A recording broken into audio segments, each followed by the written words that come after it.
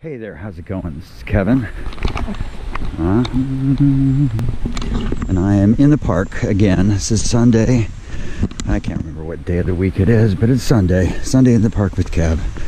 And uh, today I'm going to tell you a little story about bad interaction with the cops I had at one point or another, which, um, when rethinking this story through, I only realized how different it would have been had, say, I been not Anglo.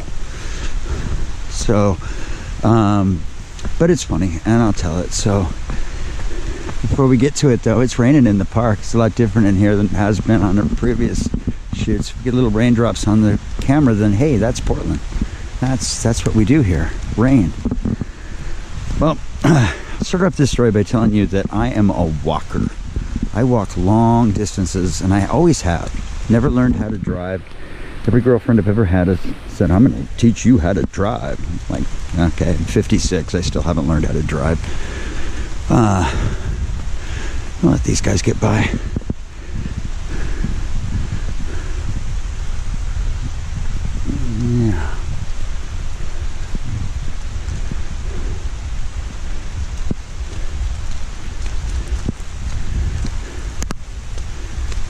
Uh, reminds me of the old days. Just a couple of guys walking down the line, just smoking doobies in the park. Again, that's Portland. Uh, but I'm a walker. That's where we were. I walk and I walk. And uh, the time of this story, I was working at uh, Bird Sweet Records on Hawthorne, the 38th and Hawthorne. And uh, I was living uh, over in the Lloyd Center area and on a nice day, I would just decide, heck, I'm just going to walk to work. It'd take about a half an hour to walk to work. On this day, it was Halloween. And so I was pretty excited. I had to, um, uh, being an actor, you often don't get to celebrate Halloween because you, you know you're doing a gig, got something to do. And uh, this Halloween was no exception. For some reason or another that I can't remember, uh, I had to be a clown that evening. And so um, I loaded my, my clown gear up into a hefty bag, uh, grabbed my makeup kit, which looked like a tool kit, and started huffing over from the Lloyd Center area to the Hawthorne area. And uh, I get to the top of Laurelhurst Park. Man, it's really raining now.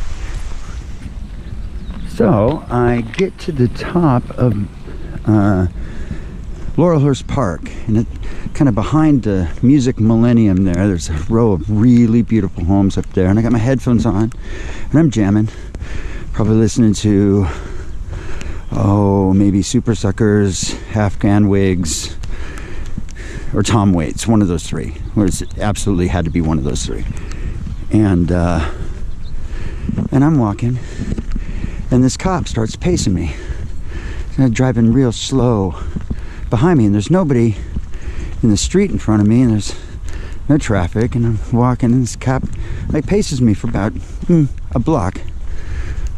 Let this cute little dog get by. Look at that cute little dog.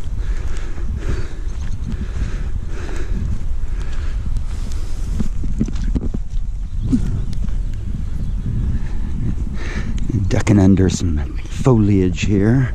Oh, isn't that pretty? Maybe Anyway, um, so this cop's pacing me. And he's pacing me and pacing me. And after about a block of it, I just turn around and just go, what? and the cop, two cops immediately pop out of their vehicles, uh, guns out, and uh, and tell me to put my bags to the ground, toolkit to the ground, interlace my fingers, get on my knees, the whole shebang.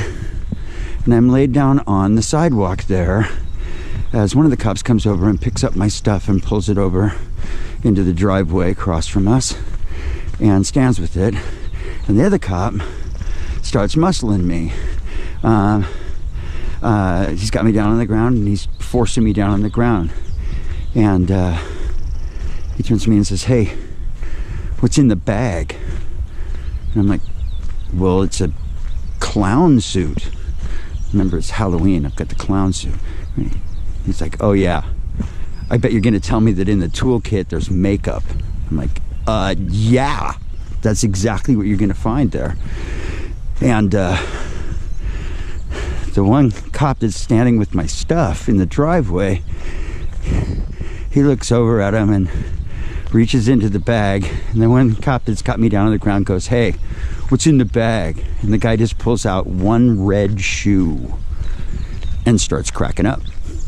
And he puts the clown suit back into the bag. They let me get back up. He apologizes, says, Hey, I know it's Halloween. I got a Halloween costume. It's like, okay, well, there's a guy that's uh, burglarizing homes in this neighborhood, and well, you're walking along, you got a big hefty bag and a toolkit. Well, you can understand. I said, yeah, I can.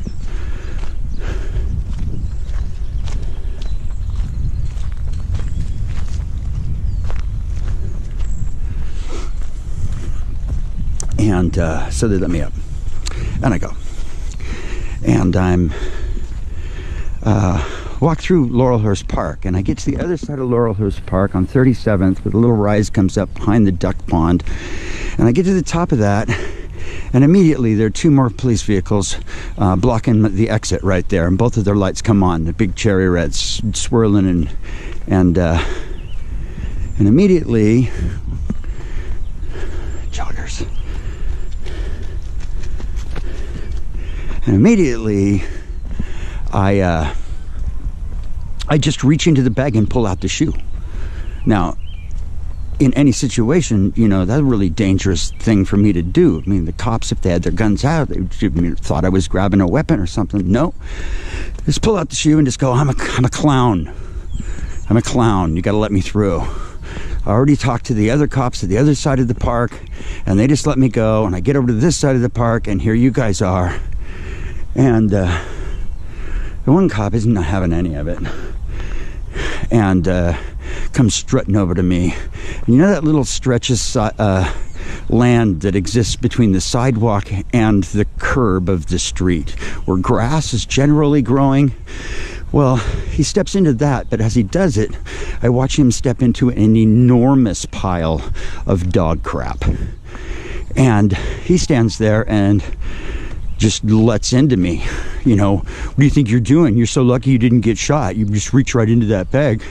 And I'm like, and he berates me. They held me there for about five minutes while they get in touch with the other cops that are on the side of the park and get the message that, yeah, yeah, yeah, we stopped him. He's good to go.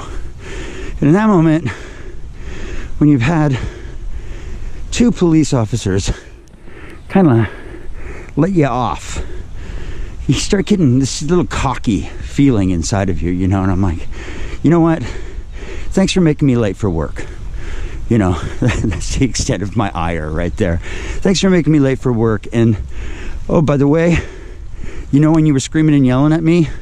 The entire time you were standing in an enormous pile of dog crap. And the cop immediately looks down at his shoe and goes, Oh God, and starts wiping it on the grass. Oh God. And uh, I turned and walked away. And uh, that little story I've been telling for years. And uh, it's interesting, you know, back then, I thought I had a real big mark on my back by having long hair. Cops really focused on you if you were a white guy with long hair about my age. Got stopped quite a bit for little things, but in the recent course of events, man, that is nothing. Nothing compared to what I knew was going on the whole time and uh, it's unjust. And in my opinion, it's got to change. It does put a whole new flavor on that story. If I wasn't Anglo, as I had said before, but uh, I want to thank you all for joining me. That's my story of the day.